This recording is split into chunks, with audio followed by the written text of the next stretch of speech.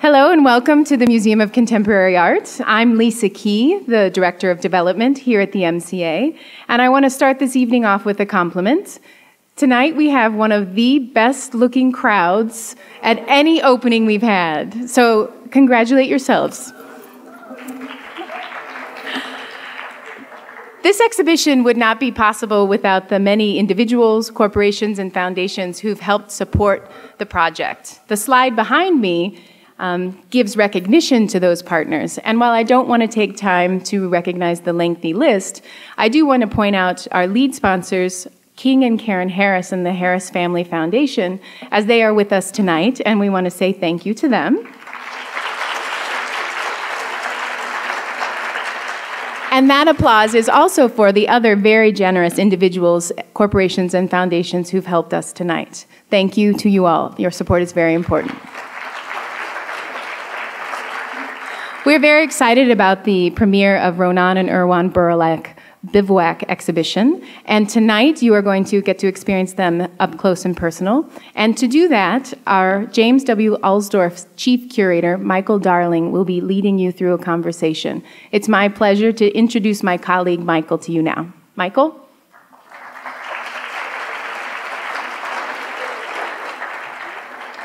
Thanks, Lisa. Thanks. Uh, it's great to see such a great crowd here tonight. Um, I'm really thrilled to have Ronan Erwan here. Uh, they've been uh, friends uh, for over 10 years now. I've followed their work closely. I've worked with them on projects in the past, and it's really great to, to bring them here to Chicago and to transform the galleries here at the MCA. For those of you that have already been upstairs and have seen it, uh, I think you can attest to the fact of how different it looks, how ambitious this show is. Uh, and for those of you that haven't seen it yet, I think you're really in for a treat. Um, I also especially want to thank the uh, the amazing installation and preparatory crew here at the MCA who's really worked closely with uh, Ronan and Erwan and Philippe Ribon from their studio for the last three weeks. Uh, this team has been led with, by G.R. Smith, and the brothers uh, and Felipe have said that this is the best team that they've ever worked with. So, big round of applause for G.R. and his team. Uh, in terms of, of, of, a shipment of materials to the MCA, this is also the biggest show we've ever, we've ever um, put on. There were six 40 foot shipping containers that arrived to us from uh, France. And uh, we also really thank Meredith Gray for keeping all of that straight and getting everything here safely. So if you can all acknowledge Meredith too. So without any further ado, let's uh, bring out Ronan and Erwan and uh, hear directly from them what has guided them over the last 15 years in their work. Ronan, Erwan?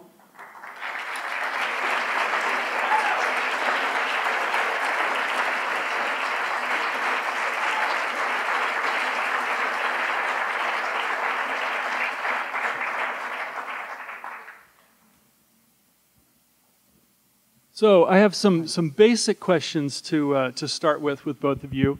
Um, one of which, um, I think, starting from, from, and we're just going to have lots of images scrolling behind us here so you get a sense of the, the breadth of their work, and I think we'll talk more, more generally about things. But um, So it will be less boring because we are not very funny, to be honest. They're modest, you can tell. Um, but I think I think it'd be great for everybody to to understand exactly how it was that you two came to work together, uh, you know, as brothers, as as designers. Uh, it was uh, by chance when I was 15, I just discovered that uh, I was fascinated by design. So um, for me, it has been sort of, it's quite nice to be passionate. And when you discover it quickly, it's it's a chance. Um, I had a lot of uh, chance very quickly, uh, small success, very small, but uh, Erwan was my young brother five years less than me. So when he was five, I was 10. So he was an idiot. When I was 15, he was 10. So you, you know that five, five is a lot when you're children. And uh, Erwan started to help me a bit because I, I had a bit of work. Uh, it was very simple because I do not have to pay him, so it was a, a chance. Uh, but uh, and very quickly it became to be more than. Uh, Erwan is brilliant, so it's quite uh, nice. It was less dangerous for him that I would work with him. Uh, instead of against him. maybe, maybe. And can you describe a little bit what each of you bring to the equation? I mean, if the differences in your aesthetic approaches, your design philosophies, and, and how that uh, comes together, and, and even how, how we might recognize that in your, in your work? I'm clearly the most intelligent. That's uh, no doubt on it. But no. Well, it's uh, well, very often this question appears. The fact is that we share everything. So each question is something that we discuss. So the typography for the show, the exact position of it could be a, a, a reason for a fight. So we, we, we do not like compromise. We are both of us. Uh, we want to do the best. So and to, to arrive to something good, it's uh, it's not something very easy. So and until we are not totally satisfied. We don't want to do things just to to to be sympathetic to the other. We just uh, we want to find the the, the, the, the good solution. So, and uh, as we we are brother, we've got we can arrive to a level of uh, fight or level of tension that is. Uh, that is uh, important more than a normal partner. So it's a chance that we can we can pass this uh, this level and, and, arrive to something interesting. So it's uh, it's how we work. So we share the same table.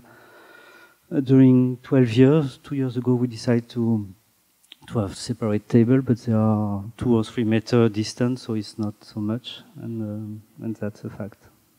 But as Ronan was saying, maybe we, for myself, um, I have the impression uh, that I'm more I more understand uh, how far design can go as soon as you treat it properly. Um, I think 10 years ago I had no, not the same kind of um, understanding. I had explained you. The, and I think that, um, uh, yeah, it's, uh, I, I, find more, much more difficult to, to, to work now than, uh, than in the past.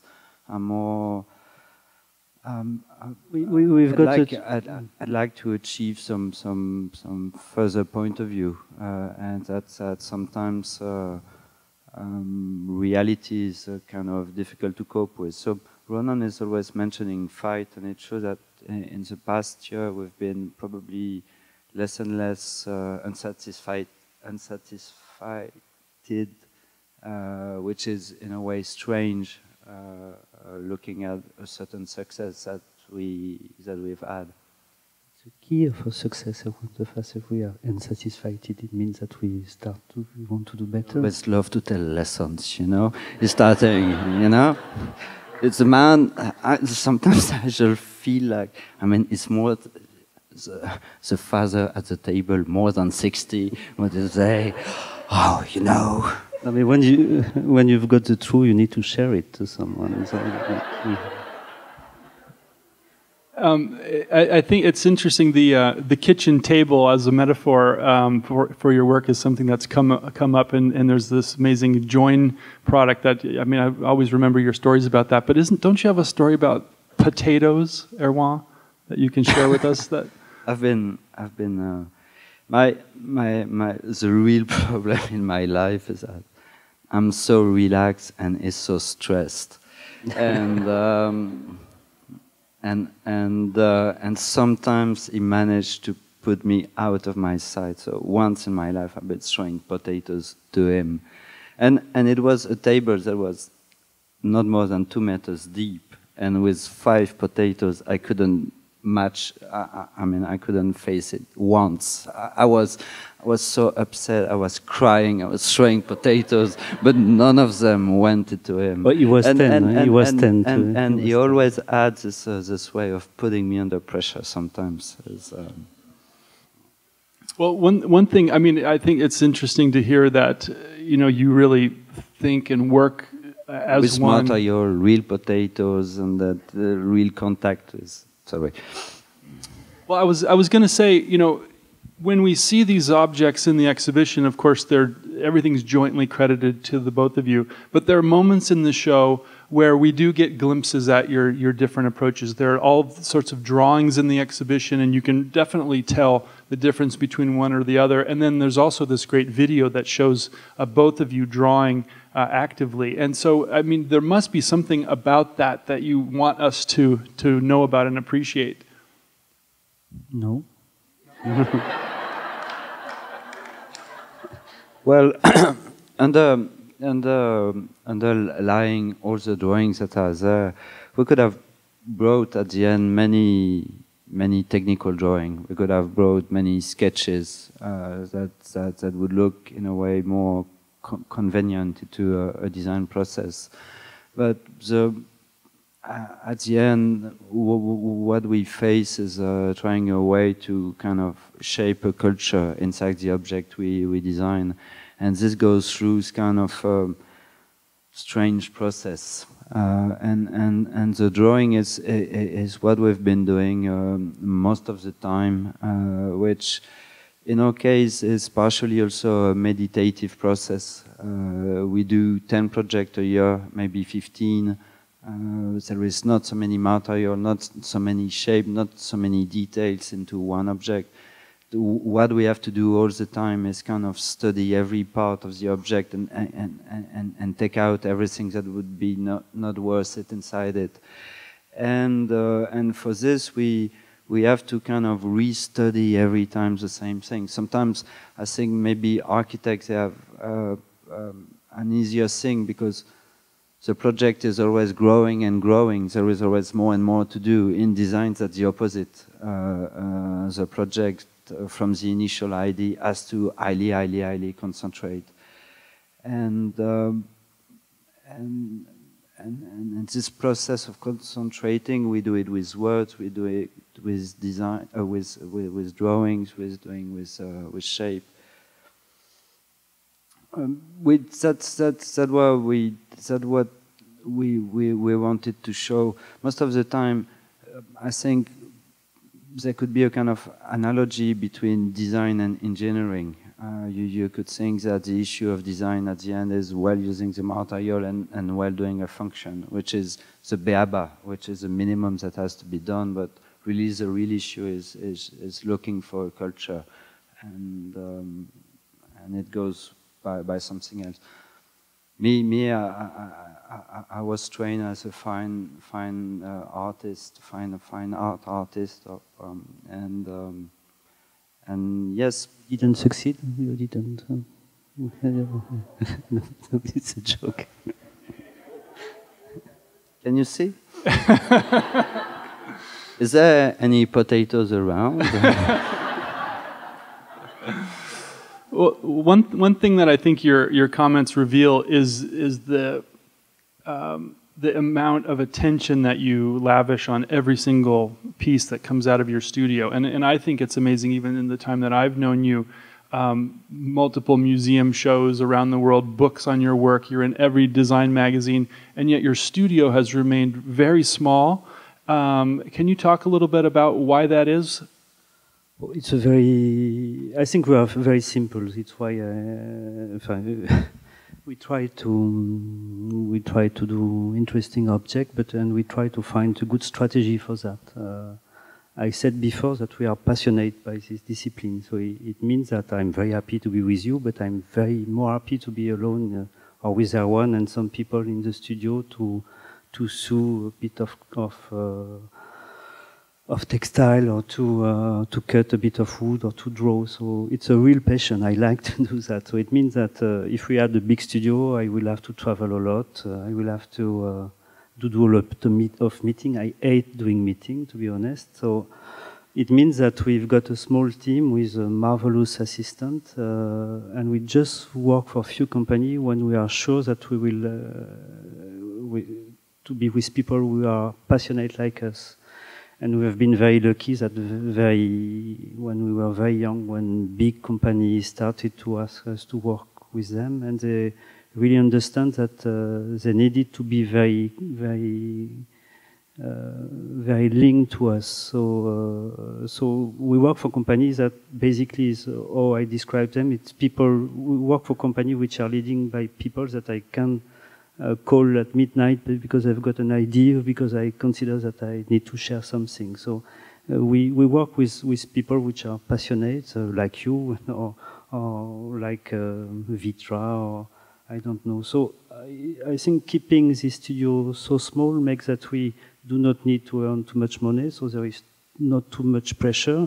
So it means that when uh, very very small company. In the in the in the exhibition there is a project of the chair that was one of the most difficult projects in the past 10 to 10 uh, years uh, and it's a company a company which was in big big trouble because of the crisis. A very very small italian company led by a family and 10 people and they asked us if we want to try to to do a chair for them uh, we spent a lot, a lot of time on this project. It was not paid, but uh, so this studio means that we can work on, and there is a lot of passionate questions which appear with people who just not a lot of uh, um, possibility. Or so we are super free to, for example, next week. So it's a very busy time for us, but uh, we launch the new furniture of the Copenhagen University. So it was a very, very important for us to, to work for super um, cheap in terms of uh, price uh, furniture, but in the same time very refined, I think.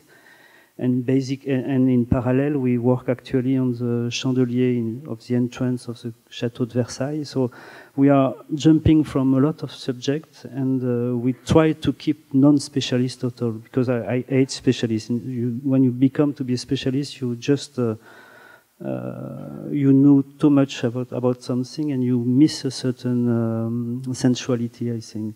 And uh, I think this is a magical of project is when there is a bit of uh, sensuality, a bit of um, magic, uh, a bit of emotions. This is there is function, of course. There is a, the weight, of course. There is a comfort, of course. But uh, uh, there is some project or some object. We've got something more which is uh, that you cannot exactly define but they are well thought they are and they are refined. It's like a, nice person. So there is objective there is clever fact uh, to analyze but uh, the charm is something that you can really so it's not a question of method. Uh, i hate the idea of method. Uh, it's not a question of being organized. I don't like to be organized. It's a question of being, try to find um, a certain. Mm.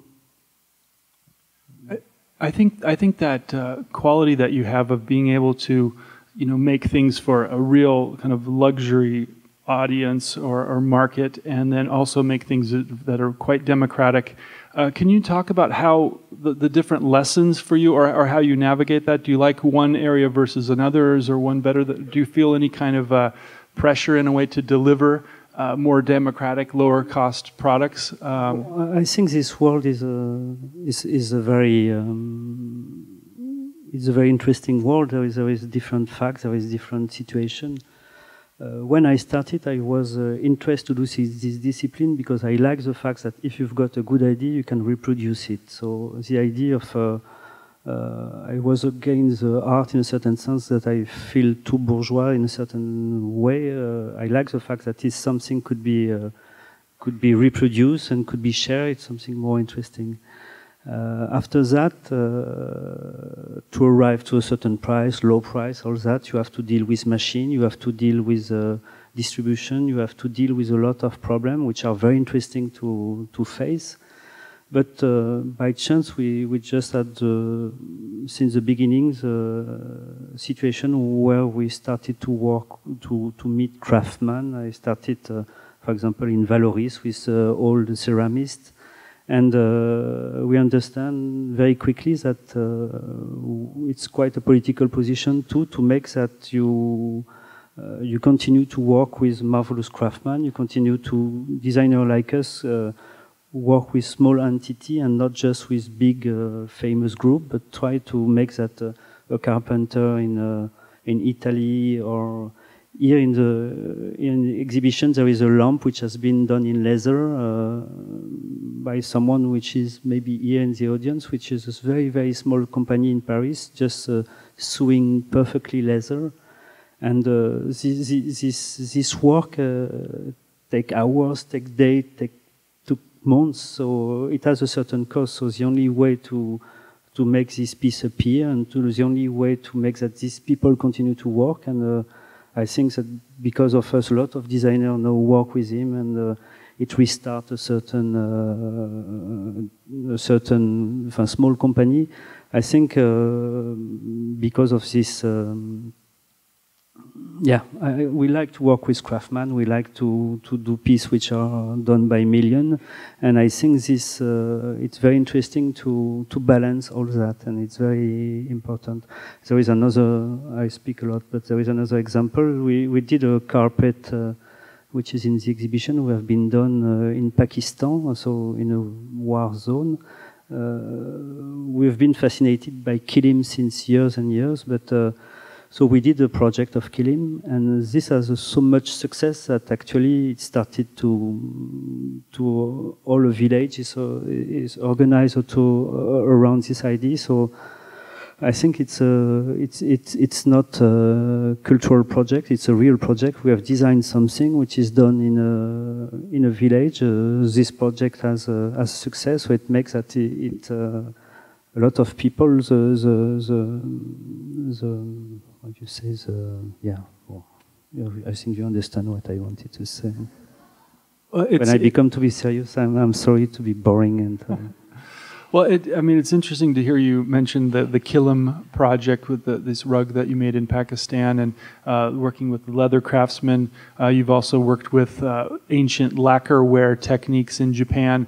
And even since I've known you, it seems like you, you're slowly kind of expanding your uh, your your opportunities and the, the types of materials and crafts and approaches that that you work with. Um, and and even recently we were having a conversation with a gentleman who has a, a fabric company, and I think other designers might go to him make a drawing of something very graphic and then just have him print that on a piece of fabric but you're when you approach a textile project you want to understand exactly how that textile is made and woven and how you can bring something new to that. Can you maybe, Erwan, talk a little bit about how you embrace new materials and methods in, in your work and, and over time you, how you keep expanding that? You ask Erwan because you think he answers better than me? No. I wanted to give him a little airtime. well, um, really, really, design is something which is highly limited uh, in, a, a, um, in an object when it's more than three material, it's already a lot. Uh, it's already an opera. Uh, objects are highly condensed. And one really issue in design is to, is to be able to define every detail. Uh, a design is not, um, a product design uh, has to be at the end so condensed um, that you have to, to face every small question. And in our case, uh, we've been trying as much as possible to control. And most of the time to control made us actually try to make by yourself things before, to be able to really understand. So for example, many of the uh, so far we've been doing were based on the, the, things that we've been trying to stitch in our own studio with a small stitching machine. Uh, there were no kind of previous idea. It was more so far is about is about textile. Let's stitch textile and we see where we would go. And in a way, we we are always kind. That's one quality of us is sometimes we, we kind of self-confident into entering into the process of research. Uh, we think that if we start to stitch, even if we don't stitch properly, uh, even if we doesn't have any shape for a sofa, uh, the sofa will probably emerge naturally from this ongoing process. So actually, yes, now we, we start to uh, we start to to, to really try to define some fabric themselves, not, not the use of those fabric. And actually now we've just been buying some, some, you know, the toys for the kids about making weaving fabric. And we start to weave fabric from the early beginning.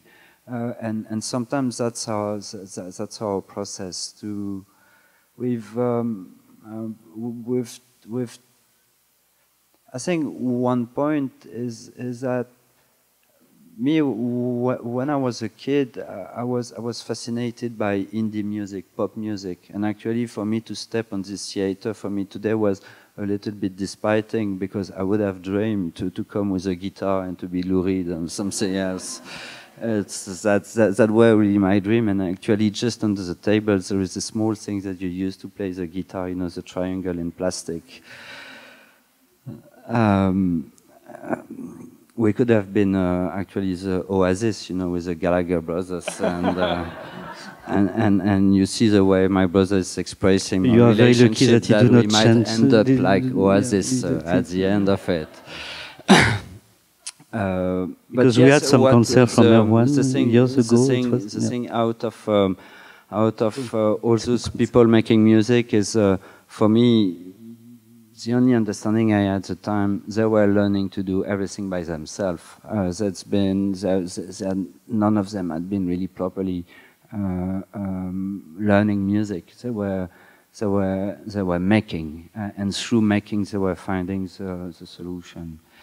Uh, and, and, that's a part of our process. We, we do a lot. We, we, we try to, to do by yourself, and most of the time, it has a kind of um, a value for so industrial production or craft production.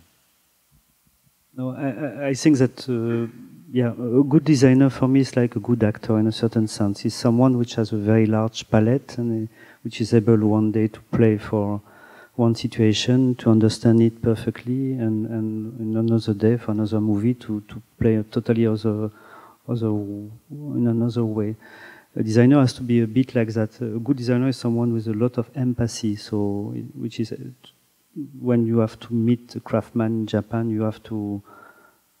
And, and, and to finish, a designer has to be someone very humble because it's a very generalist discipline. Uh, you work with specialists, uh, marvelous craftsman, marvelous engineer, marvelous uh, boring engineer sometimes, but uh, anyway, very cultured people and uh, near them we are, we are kids at the end. The, the question is more uh, to, to, to play with them in a good sense, uh, to, to make that uh, you made your idea appear. And for that, you need to understand very quickly what you can do, how to, how to deal with these people, how to make that everybody will, will participate to, to the project. Uh, design is, is, a question of design, a question of, of collective intelligence. Without uh, a good manufacturer, without a good museum, without a good team to build an exhibition, uh, it will never appear. So it's a question of uh, how to organize people, how to how to explain a project enough to make that everybody want to do the best, want to arrive to a certain quality. And this is a, uh, I think this. Uh, so I once said that he likes this, this, this, situation of being, uh, in a certain sense, very uh, naive, and it's true. After some years, we understand that, uh, and I think our work is more refined now. So we were super, super naive at the beginning. So I think we did quite interesting thing, but uh, they, they, they, are naive in a sense. And I, when I, I see them with a lot of uh, yeah, I, I, I, I, I, like them, but uh, they are they, they, they were work of uh, 25 uh, and 30 years old uh, designer. I think now we are a bit more refined and we understand a bit more the, the, the point. So sometimes we are maybe less uh, sensual. I spoke about sensuality before. It's uh, sometimes more serious, and the, the, risk is that we become to be too serious, and I, I hope that we won't be but to, to understand a bit more about a question is uh, sometimes uh, a, ch a, chance. Well, I, th I, think we should uh, let everybody get up to see the exhibition. But before, but before we do, can you mention or talk about anything that's in the studio right now that you're really excited about that hasn't quite uh, come come out into the, into public view yet? Really, this uh, starting to weave textile. I, I love textile. That's um, I was I was forbade by my mother to touch the stitching machine. Uh, no clue. Maybe because I was a kid, she would have been afraid of uh, uh, I don't know what. I offered to Erwan when he was 30 a stitching machine, so everybody in the audience was totally so that it was not a good gift for 30 years old. He was very happy. Said, no? Textile specialist in the room, please come and speak with me. The only thing is, now I'm looking for um, uh, not not woven textile, but knitted textile, if uh, which is less common actually. But that's that's that. It's exciting me. I don't know if it's exciting for the other one, but. Um, just uh, and still still before he gets to the microphone i would just like to to thank everyone that's been part of this show. Um, and uh, no way to to to mention everything.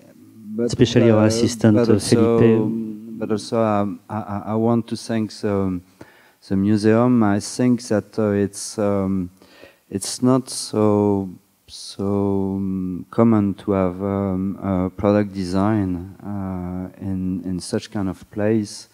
Um, I think I think the applied art uh, uh, history um, and, and, practice has um, has also quite some indication uh, to give sometimes to to art and vice versa and uh, and I'm quite uh, happy that uh, that this dialogue takes place here. So thank you very much, Michael, and thank you very much, the museum and every donors of the museum, of course. Thanks, everyone.